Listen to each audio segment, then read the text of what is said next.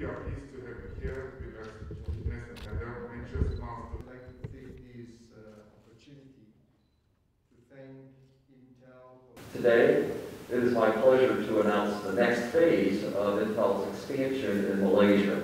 Building on this nearly 50-year heritage of manufacturing excellence, we plan to invest more than RM30 billion over the next on several major initiatives that includes expanding on Intel's assembly and test uh, facilities that we have here in the country.